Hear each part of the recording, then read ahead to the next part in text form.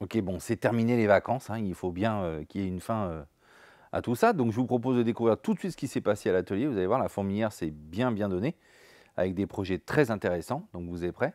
Allez, c'est parti pour la Week Story numéro 120.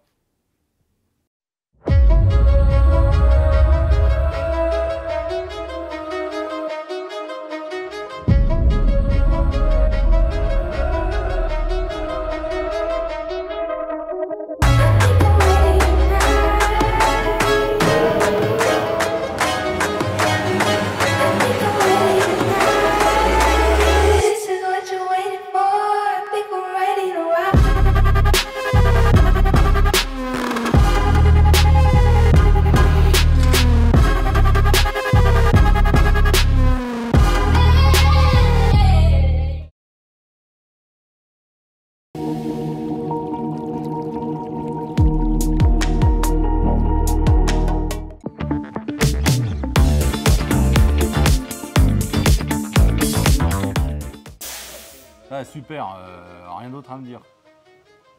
T'es parti une semaine comme moi et Ouais. voilà quoi. Mm. T'es encore Alors, en vacances. moins que toi. Pourquoi moins T'es parti jeudi. Et alors? Bah, moi, je suis parti Vendredi. Ouais. On va me faire chier pour une journée, non? Deux jours. Ok. euh, bon, toi, t'es à fond dans la sono, ouais, le boom boom. à la fois dans le T6. Ouais, donc le T6, bah, du coup, j'ai pu euh, le t'as finir. fini le T6 Ouais, c'est bon. Ah bon, ça y est. Euh, niveau audio, euh, bah, après, ce sera juste les réglages à voir avec le client, parce que ça, ça dépend de chaque personne. Mais ça déboîte ou pas? Mais euh, ouais, c'est pas mal. ouais. C'est- Ça envoie quand même bien. Donc je rappelle, hein, on a modernisé les équipements à la fois Ouais. multimédia, C'est ça. ce qui fait que tu as viré le petit écran d'origine pour Mm. le remplacer par un grand écran, Ouais. façon actuelle, tablette posée. Ouais, puis en plus, donc elle a ça un double, je crois, la ouais. surface totale de Ouais, facile, ouais. Facile. Ouais, elle, est, elle est vraiment immense. Surtout avec des interfaces et des connectivités beaucoup plus contemporaines, Oui, bon, dont on a l'intérêt de pouvoir brancher une, Une, une, Switch euh, pour son Switch, fils. pas, hein, Nintendo Switch, fils. ouais. je connais rien. Donc rajout de câblage HDMI, pas mal Ouais. de ports USB, même euh, port USB directement à l'arrière. Caméra de recul, il en avait déjà un mais avec un boîtier additionnel, donc ça faisait pas très beau. Donc là tout est pris euh, par l'écran. Meilleure définition. Euh, ouais, ça. euh, Des haut-parleurs partout, caisson de basse, ouais, ampli. ampli. Un DSP je crois en l'occurrence, mais bon, on va dire un Ah bah oui, c'est un DSP. simple. Oui. Je me disais bien quand même. Non mais Hmm, bah, tout de suite j'ai reconnu. Ça, Oui. ça, c'est un DSP ça. hmm. Ouais, parce qu'un ampli c'est un peu plus gros. Bah oui. Non, du coup, on a ça. Bah, rien que les enceintes avant, c'est des monstres. Elles font 20 cm de diamètre. Donc en général, ça, c'est pour les subwoofers. Enfin, des petits, mais là, euh, ça envoie vraiment. Et puis du coup, euh, bah, j'ai pu euh, tout finaliser, ce qu'on attendait T'as de un trois sous pièces. siège passager aussi. Hein. Ouais, c'est ça, un caisson de basse. euh, tout est prévu en fait pour le véhicule, sauf les enceintes arrière. Donc là, j'ai dû, comment dire, créer des, des- des platines, tout câblé, tout ça. Il a fallu que je Donc recrée t'as tout démonté, c'est ce que t'as fait cette semaine, t'as déposé la cloison. Ouais, de une séparation partie. du coffre qui est derrière les sièges arrière. Ouais. Pour pouvoir ensuite euh, bah, la percer, l'équiper, la modifier des haut-parleurs Ouais, c'est ça. avec euh, Avec des entretoises, parce qu'on n'a pas le choix, sinon on, on passe de l'autre côté et le client ne voulait pas. Donc euh, créer des entretoises, regarder en Alcantara. Euh, puis après, bah, justement, ce qui est bien, c'est que j'ai pu passer les câbles euh, tout derrière, donc on voit, on voit rien. Ouais, une double cloison. C'est ça, donc c'est ce qui est pratique. Euh, même dans le plancher, de ça, j'ai réussi à faire en sorte qu'on voit rien. Donc, donc ça, c'est pas mal. Et puis du coup, j'ai remonté tout le reste. Il reste, je crois, juste la moquette arrière, mais on attend de recevoir la moquette. Et puis Parmi les juste sièges les... Ouais, les sièges, tout a été remonté. Il reste juste les crochets. Donc là, j'ai pu aussi finir de remonter donc l'autoradio en lui-même complet. Parce que du coup, avant, c'était euh, Ouais. complètement euh, mis à l'arrache. Voilà, ça peut-être un peu.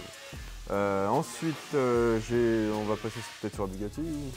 Donc la Bugatti, donc euh, j'ai aidé juste Sam à remonter donc les chromes de pare-brise et de lunettes arrière. Et euh, ensuite, j'ai remonté les sièges dedans.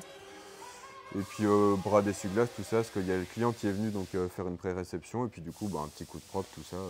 Bon, Après le gros du boulot, c'est elle. Ouais, donc là ça- le gros chantier commence, donc un peu pareil que le T6, mais je dirais limite plus poussé encore. Parce que là du coup on met un, un poste autoradio, donc là un double DIN, donc la différence c'est simple DIN, ça fait qu'une une taille bien spécifique, double DIN c'est le double. Là d'origine on peut monter qu'un autoradio simple DIN, du coup là il a fallu modifier toute la platine parce qu'on a la, la La commande de complète, hein. ventilation. Ouais, La répartition entre euh, les commandes de chauffage, l'autoradio, le vide-poche. c'est ça. On supprime le vide-poche, on descend la clim de chauffage. Mm. et on intègre le Dodine en hauteur. Exactement, donc, euh, donc il a fallu modifier tout ça, créer une petite platine en carbone pour plus qu'on voit le jour, parce que du coup, bah, le vide-poche, on peut pas le remettre. Et puis, Un euh, gros boulot quand même parce qu'il a fallu dépioter la structure porteuse. Ouais. Euh, la sabler, tu l'as décapé. Ouais, Ensuite, tu as ressoudé euh, ton cadre d'intégration euh, Euh, ouais, de, l'autoradio. l'autoradio, je préfère les souder, au moins c'est vraiment, ça Ah, tient tout le temps dans le temps, que ouais. les pliés, j'aime pas moi. Et puis ensuite, tu as remodifié, bah, coupé, modifié Coupé, redescendu, de ton système de commande de clim, chauffage. Il y a eu ça, et avant ça, justement, il y a eu tout le démontage donc, du restant de la planche de bord, parce qu'on doit regarnir cette petite pièce-là qui est garnie en plein directement sur Le la voiture. Voilà.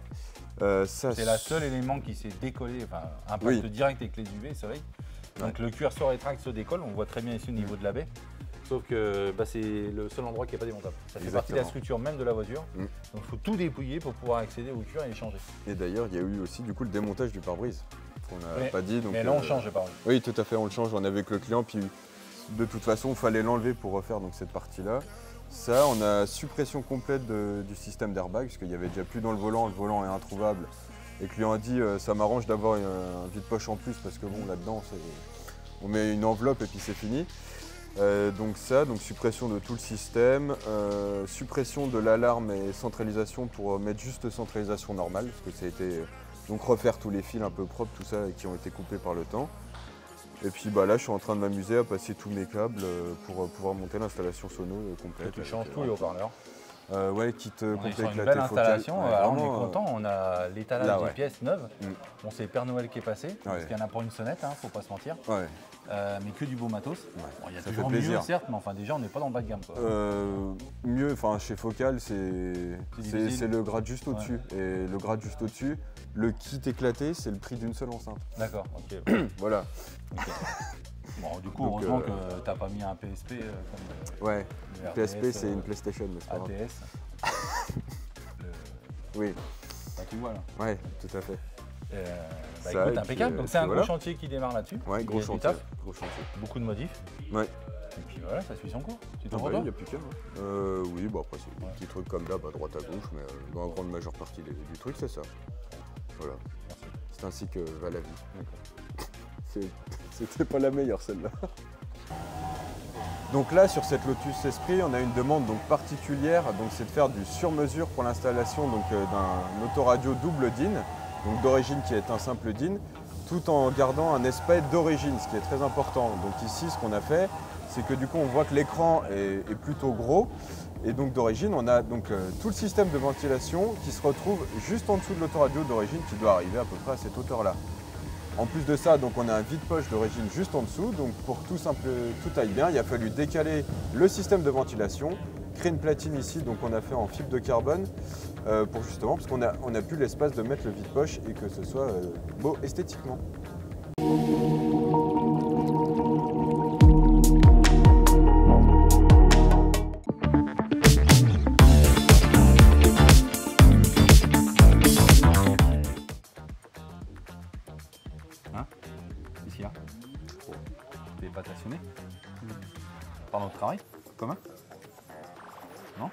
Dessus, on a bien bossé. Elle est belle notre Mustang. Ah ouais. J'ai une meilleure allure. hein. J'ai du changement. Elle revient de loin. hein. Ouais. Je rappelle, grosse reconstruction tôlerie, cette voiture, euh, tout a été euh, refait, changé. Je sais pas ce qu'ils avaient fait, il y a des trous partout. C'est une voiture de stock car, ouais, je sais pas. Et puis euh, bah voilà, la voilà, euh, elle renaît quoi. Donc gros travail, hein. on l'a vu la dernière fois, les compartiments, Céline, ça. René. Non, vas-y, laisse tomber. Le mari de Céline. Ouais. Oh, Je suis en forme, je reviens de. Ouais, de loin. Du coup, peinture complète sur cette voiture-là, Mhm. avec euh, notre décor euh, On avait parlé des compartiments déjà, non? Oui, le dernier coup. Donc la peinture euh, Python, Alors, on a commencé par mettre un, un après poursuite euh, mouillé sur mouillé sur toute la caisse pour Mhm. que ce soit plus homogène. Et, euh, et euh, après, euh, on a fait des blancs. Enfin, non, on a peint d'abord le blanc. ouais, t'as basé en large. On blanc, a, ouais, ouais, on a fait quasiment sans tout le, délimiter. ouais, tout le capot. Et ensuite, on est venu bah, tracer euh, au laser euh, les deux bandes. C'est un boulot, hein, mine de rien, parce qu'il faut monter les éléments en place. euh, Bah ouais, du coup, on a été obligé de monter le capot. ouais. au laser. Ensuite, bon, on a calibré nos espacements de ligne. hein. Donc pour ça on se sert de TEP euh, spécifique de différentes largeurs pour pouvoir calibrer nos empilements. Puis si tu veux que ça soit bien fait, il faut, faut, enfin, faut le monter, et après il faut le renlever pour que ça soit. Bah, Les cours plus loin, bah, faire les rebords, parce que là on a pris le rebord de rembordement de tôle. Oui, ouais, il Donc est on fait. a peint en- jusque là pour faire l'arrêt à ce niveau-là. On l'arrête pas pile poil sur la Non, tranche. non, non, ça fait dégueu. Donc ça c'est beaucoup beaucoup de travail. On avait fini très tard ce jour-là. Oui, ouais, Entre ouais. des phases de cache, oui, euh, on d'application et tout. Et C'était avant que tu partes. Ouais. Ouais, Pile poil avant que je parte. Mm, c'est vrai. Et aujourd'hui, on a fait bah, le reste euh, des amovibles. Ouais. Il y avait la malle arrière, il y avait les deux jupes, toutes les extensions de- d'aile avant et arrière. Ouais, les masques avant, masques arrière, les traverses de calandre, les jupes. Il faudrait plein de bricoles. On a refait la Euh, grille aussi de planche de bord qui était Oh, blanche. là mec, euh, Ouais, c'est un coup de bol. non mais. Bah, après, je suis bon, je suis bon. Qu'est-ce que tu veux que je te Non, dise? mais- Donc ça, t'as dit, je vais prendre la couleur carrosserie. Non, parce que en fait, Et je vais lui faire un vernis mat. Ouais, ça, on sait pas pourquoi c'était beige. D'habitude, c'est Ouais, couleur. c'est pas- euh, c'est censé être beige sur c'est la. censé être de la couleur de la, de la planche de bord et, euh, Donc on a dit au client, ça et nous plaît pas. bizarrement, euh, ouais, c'était bizarre, c'était beige. Donc ça, fait, ça faisait vraiment grosse tache et du coup ça Mm. faisait, euh, ça faisait drôle avec les bandes. Ça faisait vraiment très moche. Donc, euh, bah, j'ai dit je vais juste au moins le refaire comme la. T'as dit, je- je- non, tu l'as dit clairement, tu dis, je vais pas me faire chier. Oui, Ouais, tu l'as dit. oui. Je vais pas me faire chier. Je vais prendre la pein- couleur de la peinture carrosserie, je vais On le mettre à vernis mat. Ouais. Et puis, bah, ça ira. hein. Ouais, voilà. mais- C'est pas que ça ira, c'est que c'est. On croirait que tu as passé des heures à faire de la colorimétrie. Ouais. Donc là, tu, tu peux mentir, hein, tu dis, euh, ah, putain, j'en ai chié, euh, Ah, j'ai fait 15 échantillons avant d'y arriver, euh, ça n'a pas été On ça. s'en est bien tiré. Personne ne comprendra, hein, tu peux dire ce que tu veux. Bah non, on l'a dit, mais je me suis pas fait chier. Non, mais c'est quand même bluffant, c'est incroyable. Ouais, ouais. Ah, c'est là que tu vois la différence entre le vernis, quoi. Ah ouais. La Ah ouais, différence ouais, entre ouais. le brillant et le mat, c'est impressionnant. le vernis, il agit beaucoup sur la couleur. Ouais. Et Bon, bah, aussi, écoute, on est content, euh, si on oubliait les intérieurs de porte, Ah oui. euh, couleur euh, ébénisterie Ils sont arrivés rouges à la base, même trop brillants. Alors ouais, tout ce qui est habillage arrière et avant, pied A et pied B, C'est beige. c'est beige. Et bizarrement, la, la porte, euh, normalement, elle est censée suivre la couleur euh, Elle suit tout le flanc euh, de l'intérieur, et là, elle était rouge. Donc, euh, Donc on l'a remis en beige. Donc là, pour le coup, tu as contre-typé beige. oui, là, on un a peu embêté. Tu as trouvé la teinte. On a notre fameux grain cuir hein, d'embouti Ouais. qui doit être respecté. Donc il ne faut pas trop charger euh, base et vernis. Et puis bah, bah, maintenant, on a euh, le flanc complet du mobilier qui est de la même couleur. Du coup, le médaillon rouge, il va ressortir. euh, Il va il va ressortir. ressortir correctement. quoi. Et puis voilà. Euh, Bugatti, un petit peu. Euh, J'avais collé les pare-brises et je l'avais jointé. J'ai attendu que ça sèche, euh, que le joint autour était bien, ça soit bien sec. Euh, donc je place réessuyé les et après j'ai collé les chromes. ouais, qui sont collés en fait sur, la, sur le pare-brise et sur les lunettes. Et puis Ça, petit nettoyage. venu la voir. Ouais, on a, fait un, un- un un bon nettoyage de présentation. ouais. Pré-réception de travaux. Mm. Donc ils ont fait le tour du projet. Ils ont l'air d'être euh, relativement Satisfait, ils satisfaits. étaient contents des, des couleurs. Donc, Ah, euh, la couleur, ils adorent, ils sont amoureux. Donc il nous reste plus que le lustrage de finition et on va pouvoir Ouais. livrer cette voiture et finir les postes mécaniques. hein. Bon, hein, en tout cas, on est fiers d'avoir travaillé sur cette voiture, elle est vraiment très belle. ouais, elle est chouette. Euh, et ensuite, on a une autre partenaire, SGI, Oui, qui est qui est, passé venu, mardi. euh, qui est venu mardi avec un florilège de nouveautés. Ouais, c'est vrai qu'il y en a Ah, beaucoup. notre là. Armand Bailly était, était fier hein, de nous présenter tout ça. Et Ah, c'est vrai que là, cette année, euh, ça tabasse sévère. Donc ça, on vous fera une petite vidéo dédiée euh, avec tout ce nouveau matériel. Donc Ah, ceux ça, qui aiment les jouer, hein, comme ça, l'outillage pour travailler. Ouais. C'était suite à Automechanica Ouais. en Allemagne. Donc là, ils ont sorti euh, pas mal de nouveautés. dont un pistolet euh, incroyable Ouais. et des nouveaux euh, patins, enfin pattes de ponçage Ouais, ça qu'on va tester. en dernière technologie ouais. là. On va tester ça là, les semaines qui viennent. donc avec une trame métallique à l'intérieur, donc qui fait Ouais. des vérités de. Ouais, c'est censé, remplacer le calage à la main. Donc, Incroyable. Donc on va Plus essayer ça. des nouveaux godets, des mélangeurs, Ouais, des- il y a plein de trucs. C'est tout? C'est tout Ouais, c'est vraiment tout ce que j'ai fait ça Ouais. Ouais, c'est vrai, j'étais à fond sur la. À fond sur la Mustang. Bon, super. Euh, bah ouais. Ouais, bah, je vais voir les autres. Bah oui, oui. Moi je retourne à mes occupations. Petit détail sur les Ford Mustang, le panneau de porte euh, est intégré à la, à la porte en fait. Il n'y a pas de panneau de porte, il y a juste un médaillon en cuir ou en vinyle qui vient se mettre au milieu. Et en fait, euh, ce qu'on peut voir, le grain cuir, c'est de la tôle emboutie. En fait, elle est emboutie directement. Et donc là, on voit bien le- tous ces petits grains cuir ici. Euh, et donc il faut faire attention euh, lors des phases de peinture, c'est de ne pas trop charger en fait avec les phases d'après et les bases vernis pour éviter justement de perdre euh, ce grain cuir.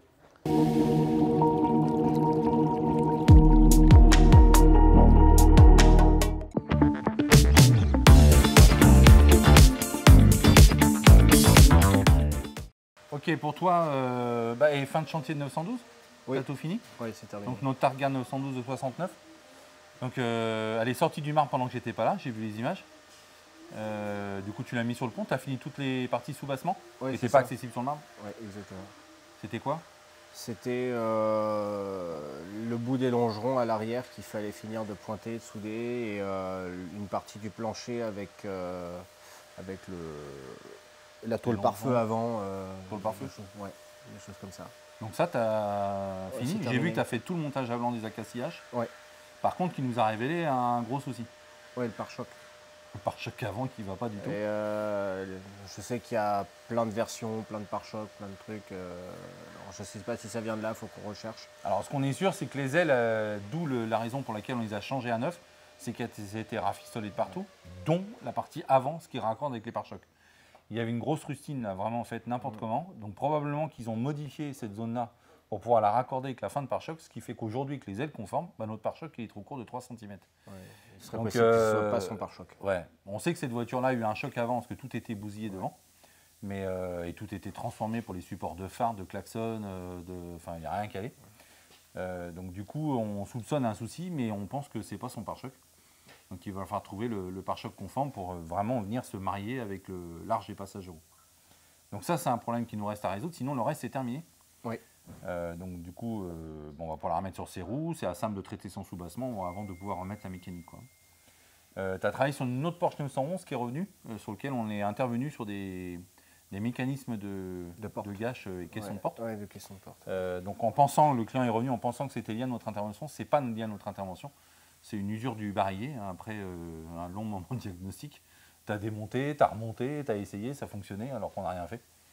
Et puis bah, à force d'essayer, tu as vu que le barillet avait une faiblesse. Donc on va devoir changer les barillets. Donc ça, euh, la voiture est repartie, elle reviendra dès qu'on aura reçu les barillets. Et là, tu t'attaques à un gros sujet. Donc Mustang, fastback, Fastback, Mac One. Macwan, ça va. Euh, J'ai perdu les années, je ne sais plus, à force. à force de faire les Mustangs et les Porsche. Donc celle-ci, là, tu as euh, commencé, tu avais déjà commencé le bloc avant il y a quelques semaines Ouais, en entre croisement de planning. trucs, ouais. Et là, par contre, tu t'attaques sérieusement au bloc arrière. Donc pour l'instant, tu en es au stade de tout dépoiler. Donc on sait qu'on doit changer les ailes, le masque, euh, les traverses, etc. Donc tu as tout enlevé. Et tu es en train d'assainir toutes les portées de pointage, toutes les rustines.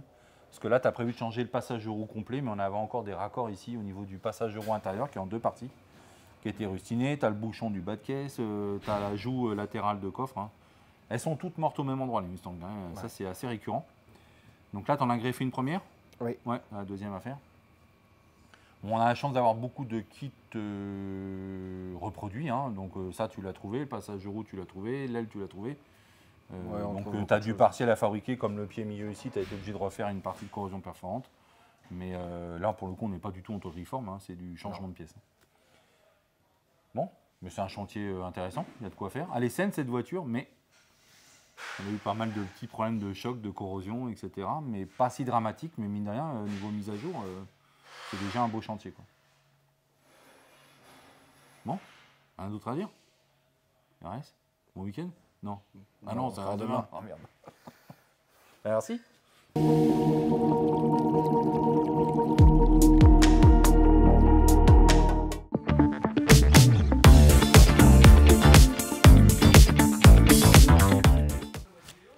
C'est bon, tu te rappelles de ce que tu as fait ces Ouais. 15 derniers jours? 15 derniers jours, ouais.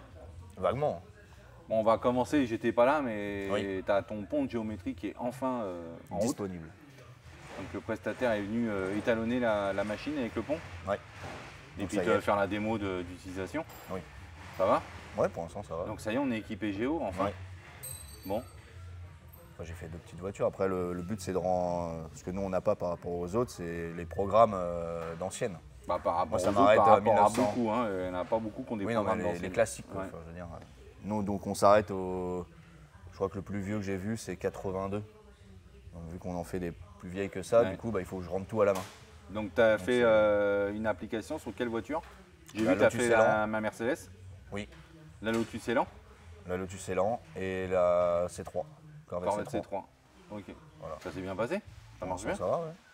Bon, ben voilà, on est équipé Géo, enfin, Hmm. au bout de 10 ans. On dit que c'est l'ancien banc de Géo de- d'ODS, non euh, D'Olivier Vous pouvez, hein. Hein, les copains, merci. il a changé de matériel, il nous a revendu le sien qui était récent. Donc, Ouais, il n'était euh, pas si vieux que ça, ouais. Bah non, hein. Bah, nous ça nous va bien pour Bah, ce qu'on a à faire, c'est parfait. C'est parfait, ouais. Bon bah cool, maintenant on va pouvoir être actif, euh, performant en Là-dessus, géométrie. ouais. J'en ai d'autres à faire, du coup. Euh, Bah oui, euh, du coup tu en auras plein. Ouais. Mhm. Ensuite, Ensuite, j'ai. Maserati bah, Bora. Oui. Je vais pas commencer par celle-là, mais oui. ah bon Euh, Maserati Bora, donc euh, on l'a remise sur le pont, donc euh, mis à part le problème d'échappement, du coup bah, ça a été renvoyé. J'ai refait le réseau d'eau et j'ai commencé un petit peu à faire d'électricité, mais euh, je préfère attendre le, le schéma électrique pour être au top. J'ai refait la durite de clim, euh, deux trois passages de, de, de faisceaux, etc. Et après j'ai euh, j'ai mis en place des tôles pour l'instant. Des tôles qui étaient euh, Ouais, d'habillage, de d'habillage, fermeture, ouais, de etc. fermeture. D'ailleurs, il faudra qu'on en reparle pour d'autres, mais euh, c'est pour ça que je ne les ai pas montés encore. Et euh, pour l'instant, c'est tout. J'ai recommandé des pièces qu'on ne pouvait pas avoir chez le premier fournisseur. Que en cherchant un schéma électrique, justement, je suis tombé sur un autre fournisseur qui avait plein de pièces que- qui m'intéressaient. Donc, donc c'est très bien. Ok, donc là tu l'instant. ton complément de pièce, ton schéma électrique, ton échappement pour pouvoir, on va dire, finaliser Voilà, euh, la Bora. c'est ça. Bon, ça c'est ton cours. Oui. Euh, Après, ensuite- j'ai remplacé le pulseur, justement, du le pulseur d'air de la Targa. Que quand j'avais fait un essai, euh, j'avais plein de fumée.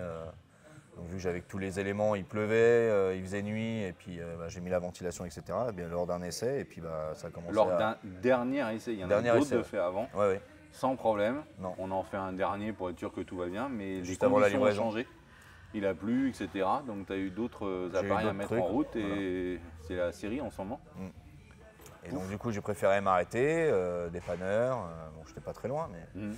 dépanneur et tout. Et puis, bah, avec le, en diagnostiquant, euh, bah, c'était un pulseur d'air qui est au pied à gauche, là, qui, est- qui avait fait un court-circuit, quoi. Donc, il a cramé. Voilà. Ah, pas de bol. Hein. Pas de bol. Donc, tu as dû euh, réparer ça, surtout que le client venait la récupérer, mais très peu de jours après. Ouais, bah, même pas Heureusement, une semaine tout- après, ouais. Ouais, donc tout est rentré dans l'ordre. Et... Ouais. Il me l'a apporté en même temps qu'il est venu, euh, j'ai Mm. changé vite fait, et puis il est reparti avec. Très content. Bon. Voilà. Comme quoi, faire les essais routiers, hein, on en a fait deux, trois, on pense que c'est bon, puis le quatrième, ça va pas. Quoi. Que des fois, ça arrive aux clients, on s'entend d'ici. Quoi. Mm, mm. Mais on n'a on fait aucune intervention sur cette zone-là. Hein, Non, non, pas non. de bol. hein. Bah non, là c'était que de la euh, carrosserie Ouais. principalement. Après, euh, c'est comme Bon, ça. ok. hein. Euh, peut arriver. bah oui. Ensuite, Puis ensuite, bah, j'ai recommencé celle-ci, oui. où euh, j'avais déposé le moteur euh, il y a un petit moment déjà. Mhm. Donc on l'avait mise de côté parce que j'attendais des pièces, j'attendais une validation. Donc Pauline, en attendant, elle a fait la, la capote euh, Mhm. et tout ça. Et puis euh, bah, moi, j'ai fait le remplacement. Donc j'ai vu avec le monsieur donc, euh, pour faire le- tout ce qui est ligne de frein. Parce qu'il y avait des, certains euh, flexibles qui étaient craquelés, etc. Les, les durites un peu pas très belles. euh, Conduite Donc, rigide et Conduite souple, hein. rigide du coup et souple parce que bon, c'était pas très beau, il voulait être tranquille donc euh, Mhm. voilà. Donc ça, frein et puis essence aussi du coup. Euh, plus le faisceau électrique, hein, de base elle est là pour le faisceau électrique qui, euh, Elle est là pour un gros poste électrique. Voilà. Changer complet le de base changement complet du faisceau. avait brûlé. Donc en changeant aussi l'élément euh, perturbateur, le moteur d'essuie-glace, qui avait, euh, qui avait Qui a- flambé. ouais, c'est lui qui a lancé l'incendie. là. Ouais. qui avait flambé et du coup, euh, bah, il y a pas mal de fils qui ont cramé. Et là, bon, euh, je me reçois avec un petit faisceau euh, qui, est- Ça va qui pas. fait beaucoup de. Il fait pas beaucoup de modèles, mais j'ai un, j'ai un entre-deux au niveau des numéros de série et du coup, bah, j'ai j'ai plus de fils euh, selon les options ou pas. Euh, parce que là-dessus, j'ai à peu près 12 schémas électriques selon les années, selon le mois. Bah, c'est Euh, des voitures qui ont été produites à gauche. de très nombreuses années avec des versions MK1, MK2, etc. Et forcément, euh, le faisceau électrique avec des équipements complémentaires au fur et à mesure de la durée de de la voiture, le pays. Conduite à gauche, conduite Euh, à droite. Il y a plein, plein, plein de paramètres. Voilà. Sauf qu'ils n'ont pas fait non plus 1000 faisceaux, je pense. Non. Donc, ils- Mais on a un numéro de série qui permet de commander notre faisceau électrique Oui. conforme au modèle, sauf que le modèle, lui, il a subi plein de modifications sur la durée de sa vie, avec des équipements qui ont changé, donc c'est plus les mêmes raccordements, ce qui fait que tu passes un temps de dingue à vouloir raccorder tes équipements. Au lieu de faire du plugin direct, ça demande beaucoup de modifications. Donc là, tu en es à un stade à te demander si c'est Si c'est conforme ou pas. si c'est conforme, si tu vas pas de nouveau changer de faisceau, ça fait trois fois qu'on reçoit que c'est pas le bon. Donc la voiture a subi beaucoup de modifications Mm. et les équipements ne sont pas conformes correspondant au faisceau de l'année modèle. Donc faire deux, Donc trois ça- modifications, ouais. ça va, mais plus j'avance et plus je me Alors on demande. sait euh, les faire les modifs, sauf qu'il y a un prix de faisceau électrique qui coûte très très cher, Ouais. sur lequel on va additionner des temps de main d'œuvre pour modifier, euh, Mm. pour pouvoir accorder les équipements. Donc euh, l'addition euh, Bah, c'est ça. s'envole. Donc des fois, je préfère arrêter pour. euh, C'est être juste sûr pour du coup, t'assurer, quoi. ça se trouve tu vas garder celui-là. Mais Ça se trouve, je vais garder celui-là, Dans mais le je préfère être sûr, quoi. Voilà. Donc euh, ça c'est un bon réflexe. Voilà, puis c'est tout pour toi? Euh, pour l'instant, oui. Voilà, j'ai commencé un peu la Mustang. euh, La Mustang rouge Ma- qui sort de. Non. Non, c'est pas La une rouge. Non, c'est une coupée, celle-là. Ouais, c'est coupé, aussi. coupée, hein. 66, je crois. Donc là, bah, tu Euh, t'occupes de. j'ai dépoilé un petit peu le préparer la moteur. méca. Mm. Euh, puis là, je commence un petit peu à préparer le dossier.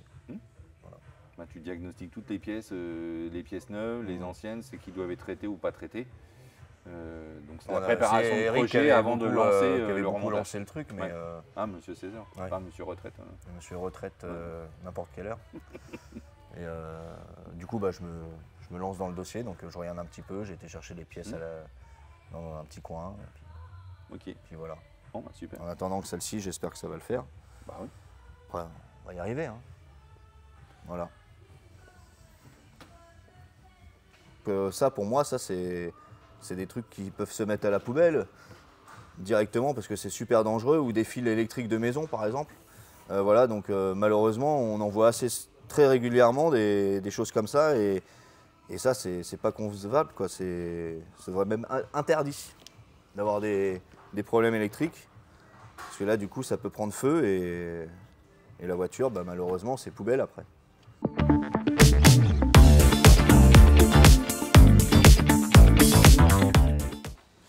T'éloigne pas trop.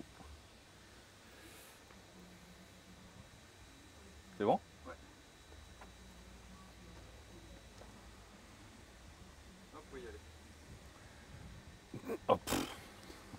Non, Ouais, parce Je que- me tasse un peu exprès. c'est parce que j'ai vu la, la, la, la Week Story la dernière fois où j'étais pas là, hein, mais, mais La 119 Ouais, t'es pas mal. et- hein. j'ai senti qu'il y avait un problème de taille. Non. Donc j'ai voilà. Non Ah, t'as vu? Oui. Ouais. Je dirais rien. Bon, c'est- on- on a rien. C'était pas méchant. hein. Non, non, c'est bon. ça va. Ça nous a fait marrer en tout cas, le principal. Non, non, j'ai regardé, ça va. C'était Euh, gentiment fait. Ouais. Bah, tu remercieras euh, Jérémy, hein, enfin toute l'équipe. hein, Ouais, je pense qu'ils C'est un sont travail d'équipe oui, pour le coup. hein, là, Ils on- sont tous coupables. Bon, euh, dans la série des Corvettes, Beaucoup de corvettes. alors là, Corvette, Corvette, Corvette, Voilà. deux C3, elles sont là. Deux Une C3, C5. Voilà, une rouge, une grise et une Corvette C5 bleue. Oui. Euh, Corvette C5 bleue, c'était de l'entretien principalement. Donc euh, des vidanges, des filtres, euh, ce qui était dans le programme d'entretien de la voiture, ça a été fait. Sur la C3 grise, bah, toujours mise au point, finalisation de la, la fiabilité de la voiture. Qui nous pose quelques problèmes. Le moteur refait, euh, il va bien, mais alors on a plein d'équipements électriques qui grillent les uns après les autres. Voilà. Alors effectivement, on a remonté le moteur euh, qui a été refait par notre prestataire. Mm. L'alternateur, euh, il a fallu le remplacer, il est tombé en panne. Voilà. Démarreur, la même chose. Et là, je suis sur la partie allumage. Jérémy a fait déjà un aller-retour chez lui. un ou deux, Alors un qui s'est bien passé. et un et, qui s'est mal et passé. deux, on a eu des soucis à chaud sur la voiture. D'accord. La voiture qui ne voulait plus démarrer à chaud. Donc là, je suis en train de regarder la partie allumage. On a eu un souci avec la batterie. Donc Mhm. la batterie qui était ancienne, déchargée. Euh, les cosses de batterie complètement oxydées, qui faisaient une résistance de contact, donc ça chauffait, on n'avait pas la tension suffisante sur le moteur, donc euh, plein de petites choses. Mais pour des voitures qui n'ont pas roulé depuis longtemps, bah, c'est des choses qui arrivent. Mhm. Euh, là, C3 rouge. Donc pareil, il y avait une partie entretien avec euh, des joints à remplacer et euh, surtout une bonne partie dépannage sur la partie euh, essuie-glace. D'accord. Et euh, donc du faisceau à reprendre, du réglage à faire. Et là maintenant, bah, c'est fiabilisé d'ailleurs, elle va pas tarder à partir. Aujourd'hui, si tout va bien. Ah, elle part aujourd'hui? Elle part aujourd'hui, Ok. Bon, bah, un petit essai routier comme d'hab et tout, c'est que tout va bien. bien sûr. Petit nettoyage, petit essai routier, et puis Mhm. voilà. Tu nous as encore fait des diag euh, cette semaine? alors, deux- Diagnostic mécanique? alors, un Diag Mecha sur une belle Jaguar un très très bel exemplaire, Ouais. Jaguar XJ8, XJ8. des années Euh, elle est- Celle-là, elle est 2004. 2004, on est vraiment les toutes dernières. Ouais. Et euh, alors, elle est dans un état incroyable. Très- je suis amoureux. Très peu de kilomètres, je crois qu'on est à 120 000 et quelques, Ouais. très très peu de kilomètres. Et, euh, Une voiture de maniaque depuis le début. Oui. Et alors, Parce que tout est irréprochable. encore une fois, on ne le dira jamais assez, mais cette voiture, le client nous a dit, elle a toujours été entretenue en temps et en heure chez Jaguar. Et bah, ça se voit sur la voiture. Bon, par contre, maintenant, Jaguar n'en veut plus. Euh, la voiture a subi récemment chez un, un de nos confrères euh, une réflexion complète des trains roulants. Mhm. Euh, bon, le client était peut-être un peu euh, inquiet sur cette prestation, mais c'est une prestation de qualité. Ouais. Franchement, il n'y a rien à redire. Tout ce qui a été fait, c'est bien fait. On voit bien que tous les organes mécaniques ont été changés sur l'intervention lourde hein, pour toutes les liaisons mécaniques train roulant. Donc euh, chapeau aux confrères parce que vraiment. euh, Quand on, quand on de regarde, en fait, on a l'impression que jamais rien n'a été touché. Ouais. Tout est en place. Chaque fil, chaque câble, chaque coche, chaque connecteur, tout est exactement à sa place. Mm. Donc il y a, tout a été remis après les interventions, tout a été fait correctement. C'est, euh, Bon, ça, c'est le facteur humain. Des fois, on peut avoir même des clients avec nous aussi qui peuvent avoir le doute sur ce qu'on a fait. Mhm. Donc, euh, bon, bah, c'est comme ça. Mais, euh, mais on a tout fait pour le rassurer et cette voiture est vraiment magnifique. J'ai même fait un essai routier et j'ai même dû en faire un deuxième par acquis de conscience. Il vaut mieux être sûr. Voilà. Bon, je pense que c'est plus que ça. Ouais. J'étais amoureux, j'avais envie d'en profiter. Mais euh, non, top. euh, il nous reste une vibration à voir, mais c'est plutôt les roues qu'on soupçonne. C'est, lié aux roues. Les on va et regarder. les Voilà. pneus qui sont vraiment trop vieux, des pneus de euh, 2016. Ouais. Donc ça fait vraiment beaucoup pour une voiture de cette puissance-là, avec une largeur de voie Ouais. pareille, avec un poids pareil. Donc ça, c'est pas bon du tout. Donc cette vibration euh, qui est une fréquence récurrente entre 90 et 110 km/h. Donc déjà, on a vu qu'il y a des plombs euh, qui sont fait la malle. Alors, quand je, on a sorti les quatre roues, on les a mis sur l'équilibreuse, j'ai vu qu'il y avait euh, pas mal de défauts d'équilibrage. C'est pas un défaut d'équilibrage au départ, c'est que le pneu s'est usé. Oui. Donc forcément, l'équilibrage n'est plus bon. Donc j'ai repris l'équilibrage. Effectivement, je pense que quand le client fera l'essai, il verra qu'il y a déjà beaucoup moins de vibrations. Il restera les jantes à traiter, parce que je pense qu'il y a Mm. peut-être un léger voilage sur une jante, on verra. Ok, mais du coup, ça, normalement, on envoie le devis pour traiter Ouais. les jantes. Elles partiront en prestation. Voilà. De Jantes, réflexion complète, euh, dévoilage, peinture et changement des pneus. Quatre pneus neufs et puis à Et une vidange, etc. Bon, bah, affaire à suivre pour la Jaguar XJ8. Ouais. euh, c'est tout pour toi? Oui. Ouais. Ah, ouais. Bon, voilà. C'est une bonne reprise aussi pour toi. Petites vacances, petite reprise. ça. Ouais. Petites vacances. J'ai pris une petite semaine, mais Bah, c'est pas mal déjà. euh. ouais, je reprendrai une autre. Ah bon? Ouais. Ah mince. Je te dis pas quand sera la surprise. Non, bah oui. J'aime pas ces surprises. là. Alors ici, on a une Corvette euh, C3 euh, 1980. C'est euh, quasiment la fin de production pour ces voitures-là. Et on a un système d'essuie-glace relativement euh, masqué, mais euh, on n'a pas d'interaction avec euh, la carrosserie. On est sur un système classique comme sur les voitures euh, modernes. Sur une C3, plutôt début de production, année 68, on en a une là-bas. Déjà, on n'a pas tout à fait la même ligne, y a des petites choses différentes. Et ici, on a un système d'essuie-glace qui se trouve caché derrière un volet mobile. Ça veut dire qu'au niveau ligne, on est beaucoup plus euh, proche du pare-brise, niveau aérodynamisme, niveau ligne. Mais ça pose des problèmes techniques parce qu'on a un volet mobile, un système d'essuie-glace, donc on a du pneumatique à dépression, et on a à la fois l'électrique, et euh, on a une cinématique qui doit être très précise pour que ça fonctionne, qu'on n'ait pas d'interaction entre le volet, les essuie-glaces, que euh, rien de force. Donc ça commence en fait ici. On a ce petit vérin euh, pneumatique alors qui fonctionne à dépression. Sur une voiture, le pneumatique le plus souvent c'est à dépression, avec la dépression du, du moteur, qui actionne le volet mobile via une biellette et une articulation. Alors il arrive dans le temps que on ait une petite usure qui crée des contraintes parce que ces biellettes sont articulées sur des paliers en, en téflon ou en nylon, et on a une usure dans le temps, ça crée des contraintes et des mauvais fonctionnements. Une fois que ce volet mobile s'est déplacé pour libérer le passage des essuie-glaces, seulement à ce moment-là, effectivement, électriquement, on a la mise en route du moteur électrique qui gère les essuie-glaces. C'est un moteur électrique un peu complexe parce qu'il gère à la fois le fonctionnement des essuie-glaces et la pompe de lave-glace qui est également prise dessus. Il y a une sélection qui est faite au tableau de bord au niveau de la commande. Euh, on a plusieurs vitesses de fonctionnement comme sur beaucoup de moteurs d'essuie-glace. Là aussi, des petites difficultés techniques à l'intérieur. Donc il a fallu à la fois euh, revoir la partie pneumatique qui ne fonctionnait plus et à la fois revoir le câblage électrique qui était plus bon. On a remplacé euh, quasiment toutes les pièces internes du moteur d'essuie-glace parce que les choses s'étaient abîmées dans le temps malheureusement avec, avec les contraintes et l'âge du câblage. Et donc voilà, aujourd'hui c'est dépanné, ça fonctionne.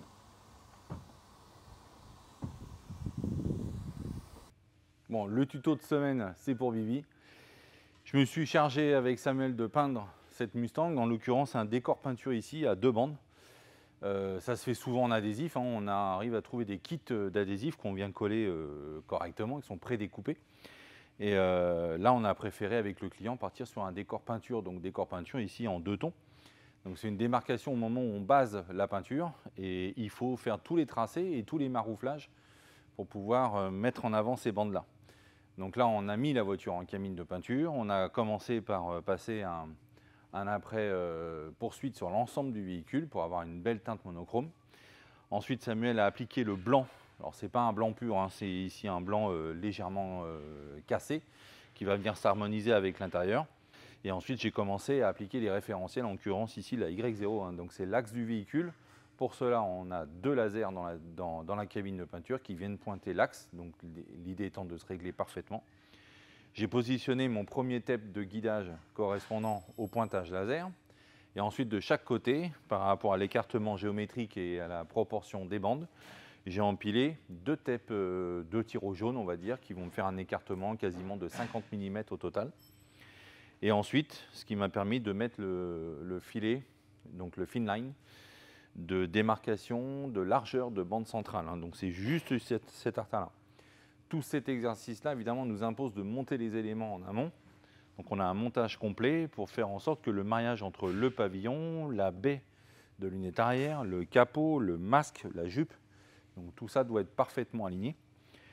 En fonction de ça, quand j'ai délimité l'artère centrale, ben, j'ai pu empiler mes cotes ici en latéral. Donc ça, j'ai pris simplement une cote. Alors moi, j'ai un truc tout bête, hein, je prends un tape, je vais faire mes deux tracés que je vais pouvoir reporter à plusieurs endroits.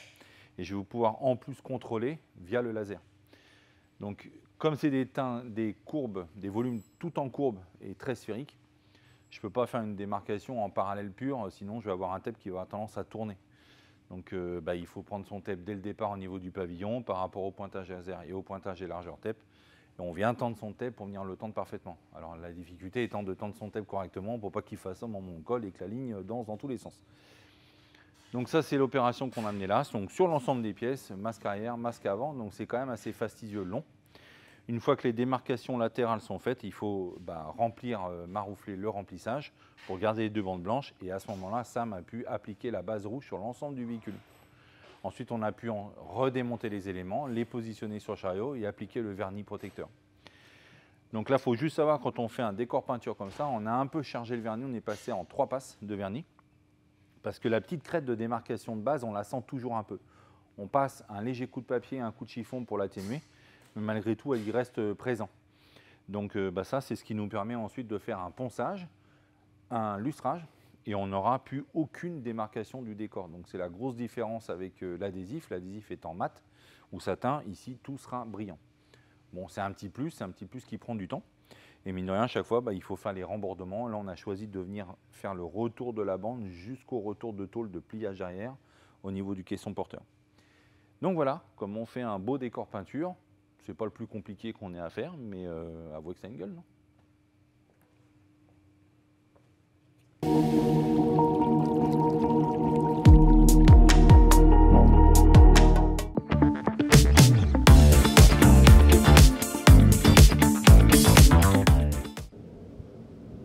Regarde pas comme ça, T'étais mis devant le soleil ça exprès. m'intimide. T'as vu comment t'es bronzé et tout Non, pas trop. On va devoir repartir. Bon. Euh, on va parler de la 911 Jubilé. Alors, c'est pas un projet client. C'est assez spécifique. Euh, on a des demandes euh, régulières sur la 911 Jubilé, mais c'est un cuir qui est très spécial. En tout cas, sur une des versions, celle-ci, c'est la version grise et c'est un cuir gris bleuté, irisé, métallisé. Et le cuir est introuvable, avec la petite broderie spécifique sur la tête Mm.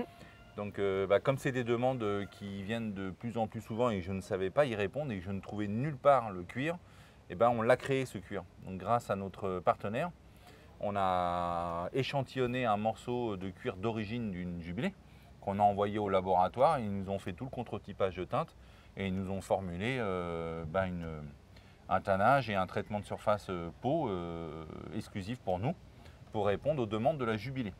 Donc on va pouvoir se servir, on a fait un partiel de dossier, hein, tu- on a coupé le dossier un peu au-dessus du bolster. Ouais. De toute façon l'idée étant de démontrer le cuir avec la broderie.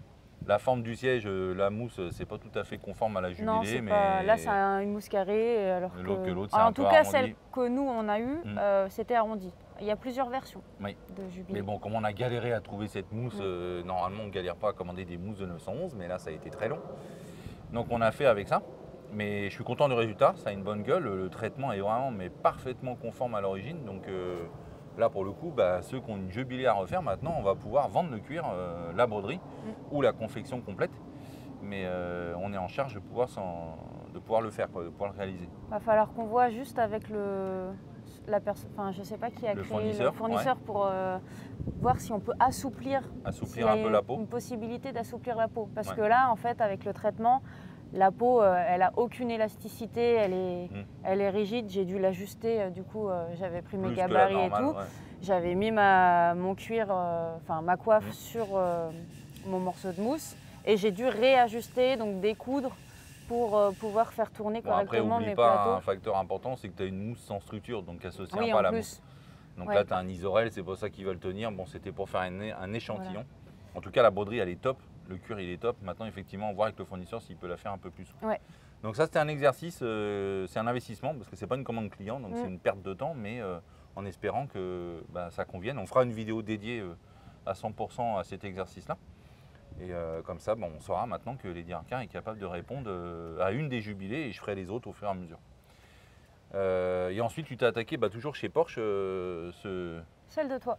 ouais, Porsche Alors, Cayenne. Le client nous l'a ramené démonté. Mm. Catherine avait fait le ciel de toit, j'avais fait les ébénisteries.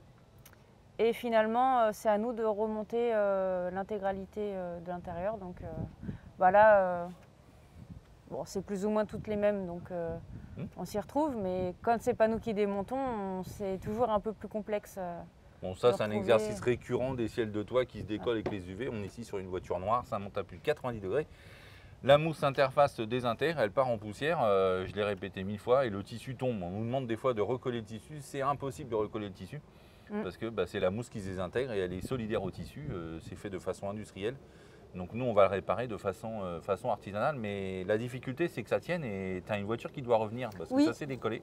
Ouais, Et comme quoi, tu vois, la chauffe euh, de, de la colle réactivable à chaud, on ne peut pas non plus faire trop à la néoprène parce que tu as le malheur de mettre un pouce dessus. C'est marqué, c'est poinçonné à vie. Non, Donc, puis la euh, néoprène, le problème avec de la néoprène, c'est qu'avec la chaleur, elle, Elle se ramollit. Ouais. Donc la néoprène, c'est pas possible. Là, c'est une colle spéciale qui est censée euh, ne pas se redécoller. Mm. Le problème, c'est qu'il faut chauffer la matière de l'extérieur sans brûler la matière, mais tout en Mm. chauffant assez la colle. Et là, c'est compliqué. Ah, du coup, c'est bah, pas aussi maîtrisable que l'industrie. On le fait de façon artisanale parce qu'industriellement, le tissu avec le carton support est fait dans un moule directement. Donc tout ça, c'est pressé à chaud. Ça donne la forme directement de la pièce. À la base, c'est deux feuilles plates. hein. Il y a le tissu et le carton support et ça part en presse.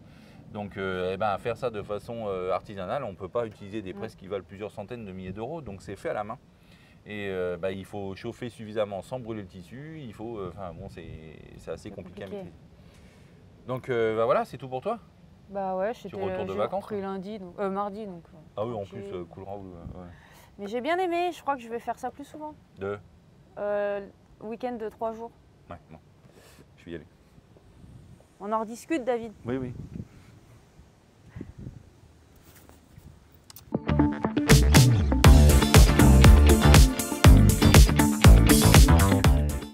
Revenu de vacances, ça y est? Oui. C'était bien? T'as vu? J'ai bronzé. Un peu, ouais. Ah, t'es- ouais, c'est vrai. Un peu beaucoup. Attends, j'ai roulé. Hein. 3000 bornes. Que de la montagne. Ouais. En plus. ah, j'ai usé de la plaquette et aïe, du aïe. Mais c'était bon. Euh, mais du coup, t'as fait quoi pendant que j'étais pas là? Unique. Elle, l'unique. L'unique. L'unique, unique. Ouais. Donc t'as fait ce qui était prévu? Oui, j'ai terminé d'agrafer notre capote. Ouais. Donc là, elle est finie. D'accord. Ensuite, j'ai débité les panneaux de porte. Il y a un client qui est inquiet sur la position de l'arche ici de la capote. Ouais, mais Ouais. non, mais je suis pas inquiète parce qu'on avait prévu avec Céline de l'attendre beaucoup plus. Oui, oui, elle va avancer davantage avec la tension oui, ici bah oui. des sangles qui sont là, qui ne sont pas encore fixées, qui permet de faire la tension ici euh, du châssis.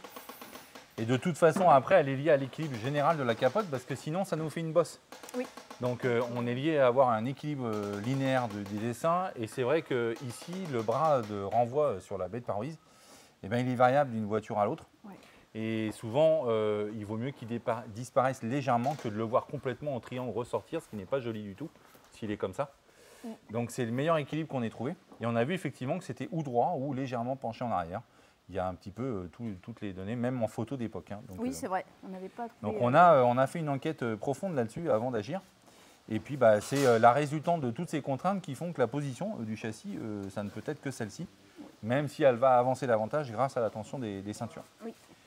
Donc effectivement, bon, l'avantage c'est que tu n'as pas figé ici, ce qui nous garde encore du réglage. Oui, on peut encore jouer dessus. On peut encore jouer dessus avec les sangles, mais ça ne remet pas en question la capote. Donc ensuite, tu t'occupais du garnissage intérieur. Oui, j'ai commencé par les panneaux de porte. Donc, Moi, je t'avais euh, fait les petites poches, enfin une poche de modèle. Une poche, ouais. fait les autres. J'ai fait les deux autres. Et j'ai ensuite fait bah, les panneaux de porte. Je les ai débités, Mhm. assemblés. Donc là, c'est ce qu'on voit là. hein. Ils sont doublés. Pousse-toi, pousse-toi Pikachu Donc, ils sont doublés en tissu, on le voit pas, mais ils sont doublés en tissu. Ouais. Arrête Euh, Ici, on est venu euh, faire une petite bordure toute fine, parce qu'il faut que ça passe là juste derrière la, Ouais, très bien. la petite On voit poignée. le passage de la poignée. Et on a la finition ici sur la tranche. Et il Euh, manque la moquette hein, qu'on n'a pas reçue. Oui, on a toujours pas reçu. Sous la bordure, c'est cloué Oui, pour que ça se pour tienne la bien. tension, Et ici, on est venu, euh, je suis venue euh, coller. pour faire la finition. Et là, on Là, aura notre cloué. baguette en bois qui Ouais. va venir faire la finition dessus. Ici, aura, ici, là, on aura notre moquette. Mm. Et voilà. Donc c'est beau, hein Ouais. Donc j'ai fait, les... mais- fait les trois portes. Ok. Et tu as fait la Euh, baignoire. J'ai fait bah, ce que j'appelle un tableau de bord, mais c'est pas vraiment un tableau Non, de bord. c'est la, la cloison par feu. Ah, on peut pas ouvrir ici. Mais bon, j'ai fait un gabarit et j'ai réussi à le passer en une seule pièce. Euh, T'as une couture là? Oui, mais tout, tout le reste. Ah, tout le reste en une seule pièce. Voilà. Ok. Donc là aussi, pareil, petite bordure. Mhm. Euh, le clou, il vient se cacher derrière la bordure D'accord. pour pas que ça se voit. Et voilà. J'ai laissé plus long par contre, parce que là, il y a un mécanisme qu'on voit pas.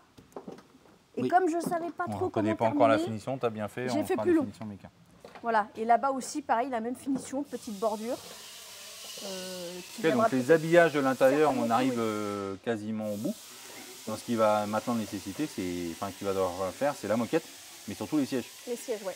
Du boulot sur les sièges. Là, t'attends Céline, à- t'attends le crin, Oui, j'attends le crin. J'ai déjà crin. débité les coiffes des assises. le crin. Ça- oui, ça craint. Oui. Tu vas nous le faire à chaque semaine Oui. D'accord. Bah oui, j'aime bien. Ouais, j'aime bien.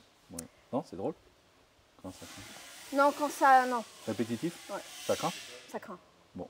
Comme le crin. Ah bah. Donc voilà. Donc pour les dossiers, j'attends Céline. Là, Ok. on va le faire à deux et je pense qu'on va bien s'amuser. là. Bon, super. Après, quoi Oui. d'autre? Euh, un peu de remontage de pont art. Oui. Effectivement, ça avance bien. Juste qu'un côté, j'ai le droit de le dire? Non. Ah bon? Bon, bah un peu de remontage de pont art. Ok. Voilà, c'est tout. Bah, t'as refait les panneaux de porte, remontage des panneaux de porte, des pieds milieux, des ébénisteries. Oui. Donc euh, les Pare-soleil, le cendrier, le ouais, rétro cendrier, intérieur. rétroviseur, les équipements de planche de bord. hein. Et puis voilà. Donc euh, ouais, au max quoi. C'est bien. Et c'est tout? C'est déjà pas mal, tout? non? Ah, D'accord. Oui, oui, c'est bien. Bah merci. Bah, y a pas de quoi. Je vais voir. euh, Bah, Pauline elle est rentrée, elle, Pauline. Ouais, ça y est, tu verras, elle est dorée euh, à souhait. Ah ouais? Ah ouais, Elle est cuite? Ouais, à point.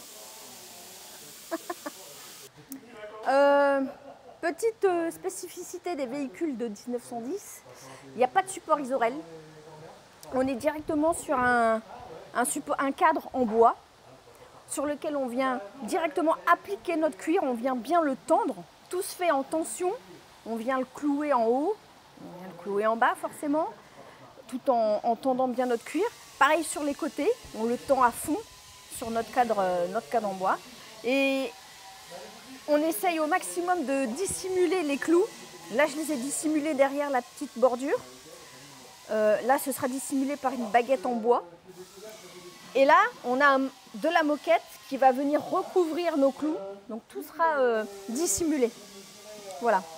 On a aussi profité pour laisser une petite ouverture pour créer une poche. Euh, je vais venir après ensuite appliquer un rabat que mon cher patron a magnifiquement réalisé. Et, ce rabat va venir euh, tout refermer proprement avec un joli petit style western. Thank you.